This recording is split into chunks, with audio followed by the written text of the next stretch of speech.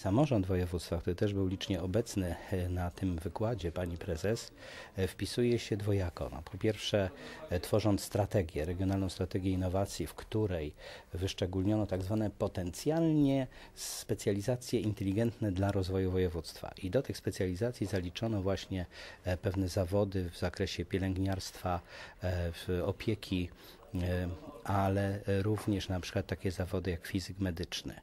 I to jest pewna przyszłość dla regionu, który ma e, jedną uczelnię zawodową medyczną i która ma przede wszystkim kierunek fizjoterapia właśnie na Politechnice Opolskiej. W to się wpisujemy i jest szansa na pozyskanie środków z Regionalnego Programu Operacyjnego w nowej perspektywie finansowej właśnie na rozwój takich kierunków, na sty- stypendia dla studentów. Tak, takie kierunki już są i będziemy tylko tworzyć dodatkowe specjalności, które jeszcze lepiej będą się wpisywały e, w potrzeby rynku. Płatnikowi y, przychodzi się borykać z deficytami y, niektórych zawodów, a zwłaszcza osób, tak jak Cię wspominałam, które na przykład posiadają wykształcenie na poziomie magisterskim, ale nie robią specjalizacji.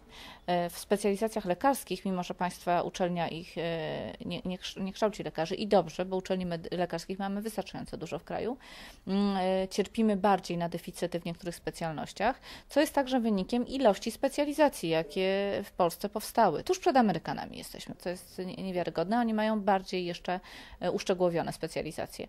I ten e, temat wziął się właśnie stąd, żeby o tych zawodach, gdzie płatnik widzi deficyt lub widzi braki w poziomie wykształcenia, w takim sensie, że dobrze, żeby e, psycholodzy kliniczni lub rehabilitanci, fizjoterapeuci ze specjalizacją trafiali do świadczeniodawców, stąd ten temat.